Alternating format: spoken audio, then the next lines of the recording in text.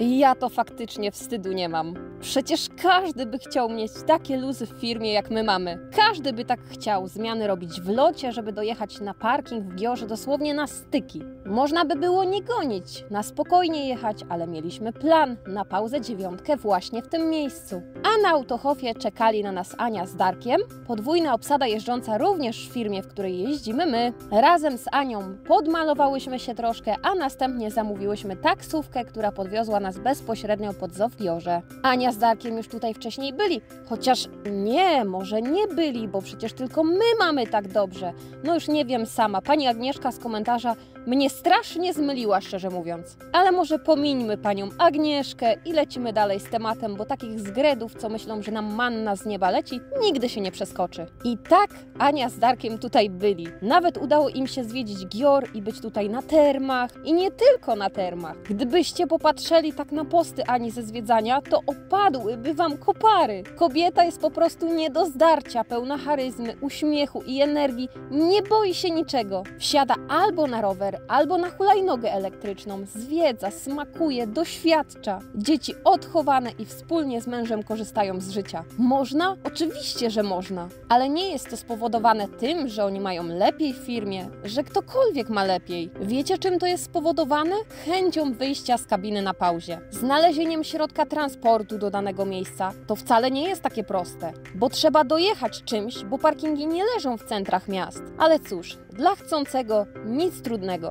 Giorze zaskoczyło nas bardzo pozytywnie. Zwierzęta bliziutko, prawie na wyciągnięcie ręki, a niektóre dosłownie można było brać na ręce, karmić czy głaskać. Ania z Darkiem oprowadzali, a my tuptaliśmy z radością za nimi. Ponad 900 osobników z prawie 150 gatunków zwierząt czeka na gości w Zoo Xantus Janos na całodniową wycieczkę. Odwiedzający są zabierani z Azji przez Afrykę po Amerykę, gdzie każde zwierzę żyje w środowisku odpowiednim dla jego własnego siedliska. Jednym z największych zadań ogrodu zoologicznego jest edukacja zwiedzającego w zabawny sposób. Największymi zwolennikami nauki poprzez zabawę w Giorzo są sami mieszkańcy i oczywiście tego dnia radośnie tuptający Ritek Siarze. Po fantastycznym programie, w którym mogliśmy z bliska zobaczyć ptaki drapieżne, fretkę, papugi czy malutkiego pancernika, ruszyliśmy, żeby zobaczyć pociąg świnek morskich, również tuptających, ale w kierunku przygotowanego dla nich wybiegu i jedzonka. Oprócz świnek było tam sporo gadów, które nawet pracownicy pozwalają wziąć na ręce, lecz my niestety na to się nie załapaliśmy. Po pokazach drobnicy czas na pokaz dużych zwierząt i dużych trąb. Powiem szczerze, że takiej edukacji tutaj to się nie spodziewaliśmy. Tutaj była bardzo pouczająca lekcja anatomii, a po niej załapaliśmy się na karmienie pingwinków. Patrzcie, jakie słodziaki. I jako ciekawostkę dodam, że są to ulubione zwierzęta Darka i ma on niezłą kolekcję z tymi słodziakami. A jeśli mowa o Darku, to zostawił nas na resztę zwiedzania, bo uwaga, na parking podjechał trzeci Ritex. Diana z Krzysiem mieli się rozładować, a następnie kręcić pauzę, więc wiedzieliśmy już, z kim spędzimy kolejny dzień w Giorze. Ale zanim niedziela, to czekajcie, dalej mamy sobotę. Zjedliśmy z Anią po małym hot dogu, bo coś nas zassało i ruszyliśmy na dalsze zwiedzanie zoo. Powygłupialiśmy się troszkę, poobserwowaliśmy słonika, który już tak bezwstydnie nie pokazywał swojej drugiej trąby, tylko grzecznie ustawiał się do badań za smakołyki, bo musicie wiedzieć, że te sztuczki nie są po to, żeby ludzie mogli sobie popatrzeć, a po to, że gdy słonika trzeba zbadać, to on chętnie współpracuje z weterynarzem. A po słoniach czas na resztę zwierzyńca, który dwoił się i troił, żeby wydębić od nas coś dobrego. Czekały na nas urocze osiołki, owieczki z fantastycznymi rogami, a nawet krówki czy daniele. Ania czuła się tam jak ryba w wodzie, a zwierzęta lgnęły do niej w poszukiwaniu czegoś smakowitego. Jak ja kocham te przysłodkie pyszczki! Są tak urocze i przypominają mi jedną z ulubionych bajek Disneya Bambi.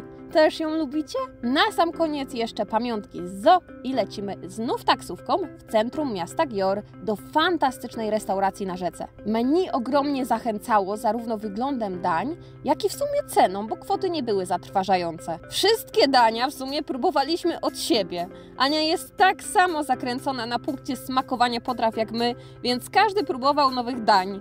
Na stole wylądował kolejno kociołek z mięsem wołowym w sosie zapiekany z serem i podany z nachos ananasami, następnie ichni soczek jabłkowy z wodą źródlaną, potem soczysta kaczucha z kiszoną kapustą i kopytkami, gnocchi ze szpinakiem i kurczakiem w kukurydzianej panierce, a u Ani stek na pióre pietruszkowym w sosie pieczeniowym z krewetkami. Wszystko bardzo nam smakowało i z pełnymi brzuszkami, przechadzając się jeszcze przez centrum, dotarliśmy do taksówki. Na miejscu czekali na nas Darek, Diana i Krzysiek, ale my musieliśmy już uciekać, bo pauza dziewiątka się skończyła i trzeba było jechać rozładować towar we fabryce obok. Ania z Darkiem niestety musieli również już jechać w kierunku Gliwic, ale mieliśmy szczęście, bo miejsce parkingowe zajęła nam Diana z Krzysiem, więc po rozładunku mieliśmy gdzie się ustawić i kolejnego dnia już wiedzieliśmy, że wybierzemy się wspólnie na termy. Turystyczna Diana, dziobaki i celebryty, jak nas pieszczotliwie ci leniwi pracownicy Ritex nazywają, pozdrawiają!